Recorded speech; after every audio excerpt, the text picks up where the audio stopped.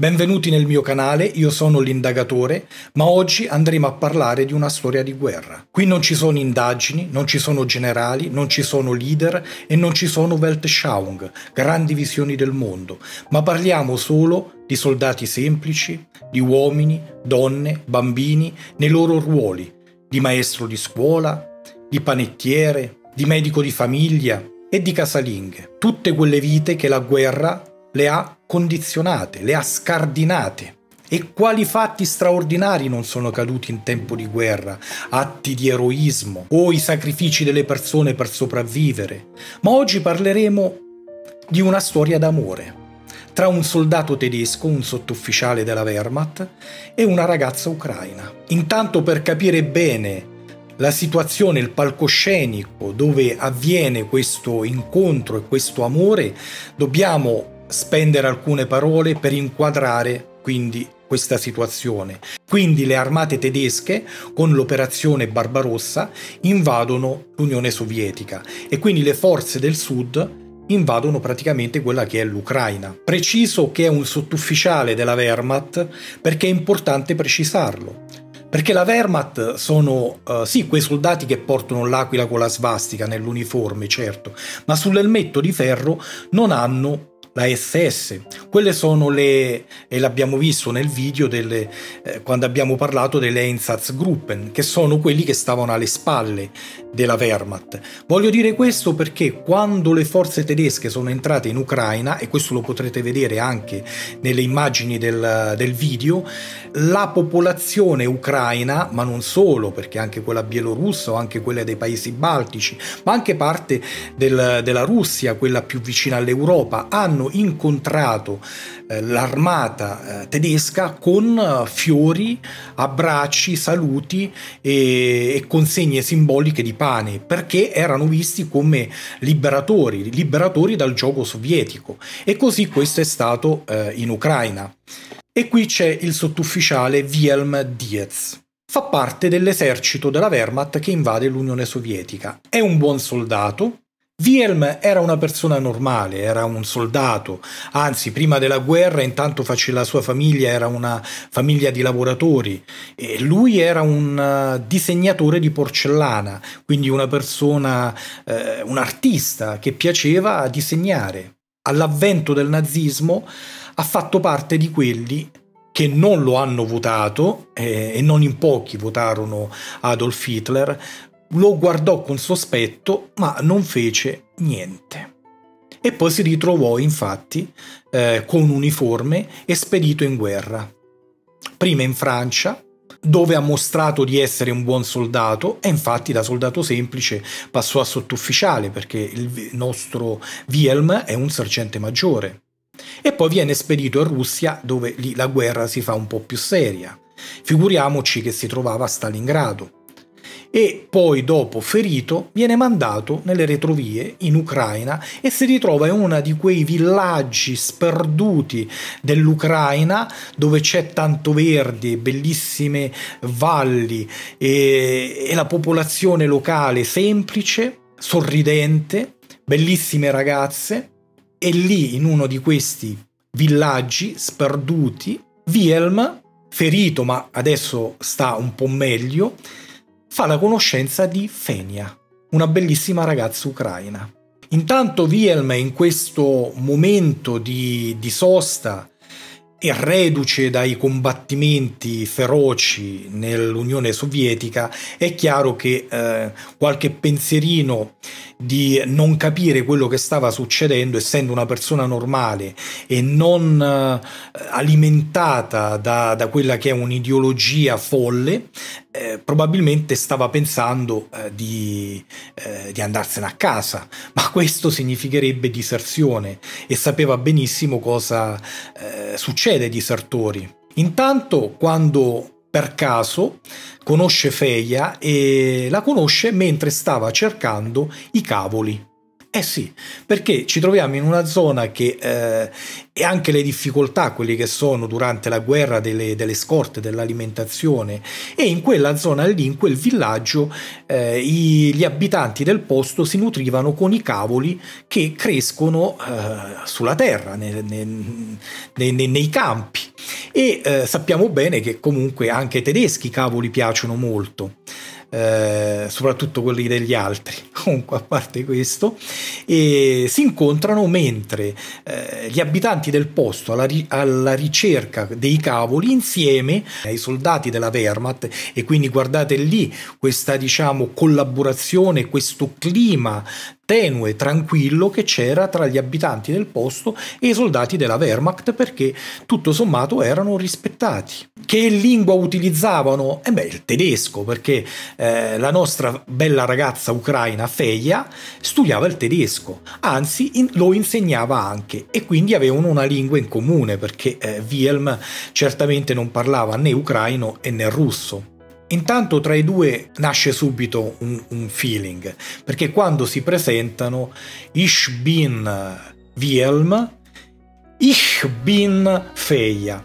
E eh, scusate il mio ish o ich perché nella pronuncia eh, tedesca di questa ish io preferisco quella più labiale dolce ish, ma a volte qualcuno corregge i puristi, i puristi del tedesco, della lingua o de, delle varie lingue, eh, vogliono invece la pronuncia perfetta che a volte invece si orienta anche dalle posizioni geografiche, non per niente noi italiani andiamo a vedere le nostre pronunce, le nostre nostre vocali A, E, I, O, U che si aprono e si chiudono non in base alla grammatica ma in base alla posizione geografica della nostra terra italiana, della nostra penisola.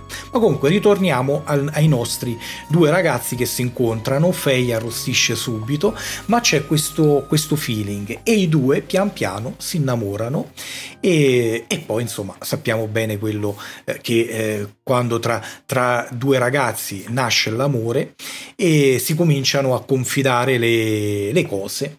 E sì, probabilmente c'era un po' di sospetto eh, da parte di Feia di questo eh, ragazzotto che senza l'uniforme tedesca poteva benissimo essere passato per un ragazzotto ucraino, ma eh, gli racconta de, del fatto di cronaca del, del villaggio, i paesani del villaggio avevano nascosto una mucca. E sì, l'avevano nascosta perché eh, i nostri tedeschi sono soldati, hanno bisogno di rifornimenti e quindi prendono così si suol fare dai tempi eh, delle guerre puniche, si suol fare prendere eh, il, il, cibo, gli alimenti dai, eh, dagli abitanti del posto. Ma Vielm non tradisce la ragazza, giustamente Feia ha riposto bene la sua fiducia in Vielm, anzi Vielm eh, non fa altro che eh, distogliere l'attenzione dei suoi commilitoni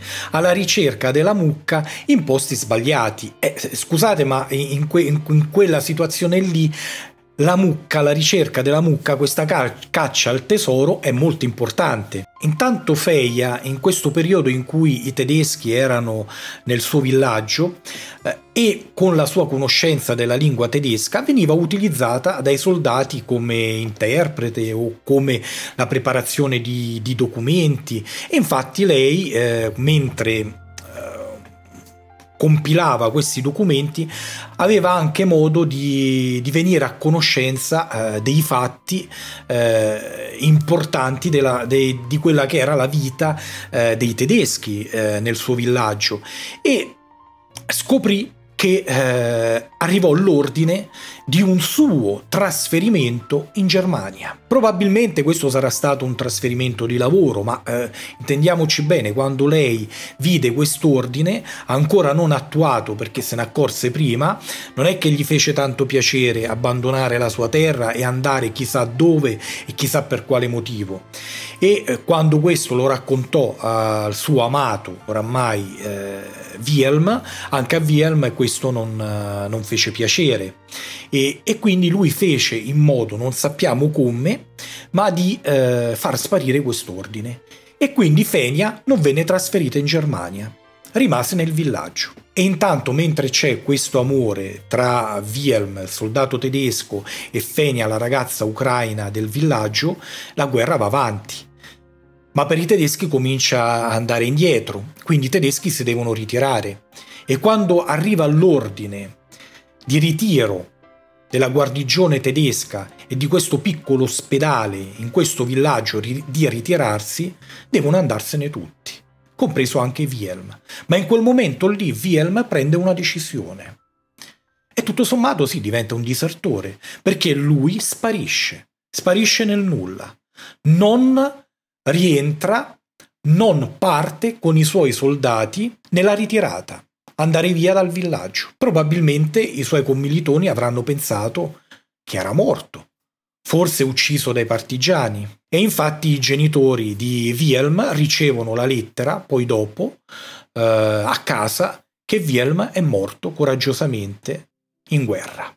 E nella sua chiesa viene anche appesa la targa della sua data di nascita e di morte come eroe di guerra. E quindi Wilhelm, tutto sommato, come soldato della Wehrmacht, muore in quel momento.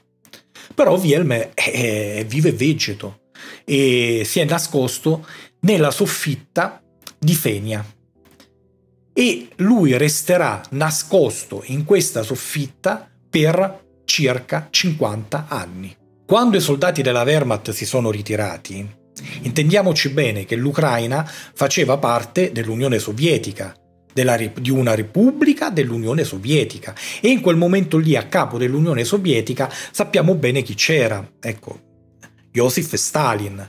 Poi è stato raccontato che la notte usciva, perché la notte in un villaggio eh, non, non, ci sono certi lampioni con, la luce, la luce è solo quella della luna e delle stelle, e se fumava, non lo so, ma comunque prendere una boccata d'aria, farsi una passeggiata, ma poi subito, subito, magari eh, quando il sole stava per sorgere, subito perché ci sono i vicini di casa, non si sa mai, e quindi su in soffitta. E così passarono gli anni.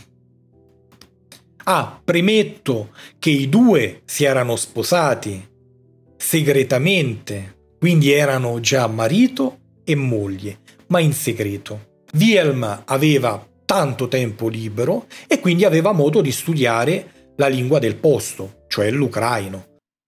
E quindi Wilhelm, finché non imparò molto bene la lingua del posto o quantomeno quelle espressioni della semplice vita, non poté passeggiare. Quindi il nostro Wilhelm venne presentato ai vicini di casa come il marito di Fenia che lavorava a, a Kiev, lontano, e ogni tanto veniva al villaggio, così, per stare tranquilli. Il suo cognome venne ucrainizzato da Diez e l'ufficiale dell'anagrafe prepara i documenti per il nostro Dotsenko, Vasili, per gli amici Vasia. Beh, il nostro Vasili era molto bravo, abbiamo detto, a dipingere sulla porcellana, quindi a parte questi lavoretti artistici, ma lui era molto bravo anche nel riparare, e questo anche grazie ai corsi della Wehrmacht, a riparare tutto ciò che era meccanico e quindi eh, ebbe modo di trovare lavoro e quindi di lavorare. Lui con le sue mani costruì la loro casa, però era una casa che stonava eh, rispetto alle altre case intorno e meno male che non ci sono stati delle indagini perché lui costruì una casa che non, non era come quelle del posto, sì, in parte in mattoni, in parte in legno, comunque con uno standard eh, ucraino. Lui costruì, essendo tedesco, è chiaro che costruì una casa in stile tedesco eh, o, o quantomeno diciamo europeo che mh, all'occhio eh, di un tedesco eh, se ne sarebbe accorto che quella era una casa tedesca. E eh, con in alto eh, sulla soffitta una bellissima vetrata. E, e probabilmente costruì questa vetrata perché dopo un'esperienza di qualche anno fatta in soffitta dove non c'era forse neanche la finestra o, o se c'era uno spioncino allora lui abituato a vivere sulla soffitta si costruì una bellissima vetrata in soffitta. Però nessuno fece indagini, nessuno andò a cercare di indagare. E gli anni passarono così. Vasili, il marito di Fenia, che ora Fenia non è più una bellissima ragazza, ma è una donna adulta, già è nato un bambino, Pavel, che non sa niente del papà, non sa che il papà è un ex soldato tedesco, però gli sa strano E infatti qualche volta, mentre cresce, eh, gli dice, manca la mamma, ma perché papà è così strano? Perché papà non è come tutti gli altri papà? Perché papà si nasconde e non andiamo a pesca? Perché gli altri bambini con i papà vanno a pesca. E perché non devo dire niente? Perché a lui la risposta che riceve è sempre quella, non fare queste domande, papà non si deve far vedere per determinati motivi, papà è una brava persona persona, ma tu non devi dire niente che papà si nasconde in casa. Vai a pesca da solo. E il nostro Pavel cresce così. Il nostro Wilhelm ha passato una vita semplice, in un villaggio ucraino, nell'Ucraina sovietica, un po' con la paura di essere scoperto, perché tenete sempre presente che ci troviamo nella Ucraina sovietica e il nostro Vasili che per imparare l'ucraino e il russo insieme ci vogliono degli anni. E quindi sempre quella paura che poi con i documenti non siamo a posto, ho violato qualche legge, divento un criminale di guerra, vado a finire in tribunale, mi arrestano, mi portano chissà dove e come mi guarderanno poi dopo i, le guardie nei carceri e gli stessi prigionieri che io arrivo lì, sì, vabbè, parlerò l'ucraino e il russo, ma sono tedesco. Le paure c'erano, ma paure serie, talmente tanto serie che in tutti questi anni, per 50 anni, eh, Wilhelm, ma oramai Vasili, con accento ucraino, non contattò i suoi parenti in Germania la sua famiglia, che sapeva che invece era morto da eroe in terra russa. Poi arrivò il giorno in cui Fenia, oramai vecchia, morì. E anche durante il funerale eh, Wilhelm Vasili restò su in soffitta. Vasili scese di notte e per tre giorni restò lì a piangere sulla bara aperta di Fenia toccandogli la mano, baciando di tanto in tanto la fronte, e restò lì a piangere. Poi decise che era giunto il momento di raccontare, di non aver più paura di niente, e raccontò quindi questa storia, 50 anni circa, di come lui si nascose in una soffitta durante la guerra e dopo la guerra. E Pavel, figlio oramai adulto, con tanto di moglie e bambini, s'accorse, un po' sconvolto, di avere parenti in Germania. E il nostro Vasilio, oramai vecchio, decise che era giunto il momento anche di andare in Germania. E quindi senza tanta paura cominciò a contattare i suoi parenti che eh, tutto sommato eh, sconvolti, ma prepararono i documenti, il visto perché sulla carta eh, Vasili Dotsenko esisteva, Wilhelm Diez era morto. Il nostro Vasili ritorna in Germania e va nella sua cittadina natale e incontra i parenti che gli sono rimasti. Comincerà anche a fare quelli che sono dei discorsi burocratici per dire alla Germania che lui è vivo e infatti fa togliere dal parroco la, la targhetta che lui non è morto in guerra da eroe ma che è vivo e riuscirà in tutto questo e anzi riuscirà anche non solo a riprendere la sua cittadinanza tedesca ma a prendersi anche una bella pensione eh, tedesca. Tutto sommato questa è una storia strana, particolare, eh, ma lui la sua vita l'ha passata in soffitta per amore di una bella ragazza ucraina. Voi cosa ne pensate di questa storia di Vasili, soldato della Wehrmacht, disertore per amore, e di Fenia, una semplice ragazza ucraina che parlava tedesco e si innamorò di un soldato della Wehrmacht. Grazie e al prossimo video con un'altra storia di guerra.